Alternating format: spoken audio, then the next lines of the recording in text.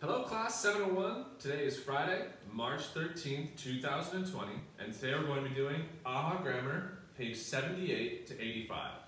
Now, Katharine teacher has already done this video, so what I want you to do is open up your books and open her video, and then she will do your lesson today.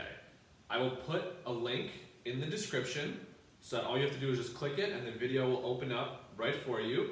Okay, so one more time, Katharine teacher will do the video today, I will put the link in the video for you to find, so you watch that video for today's lesson on AHA Grammar, okay?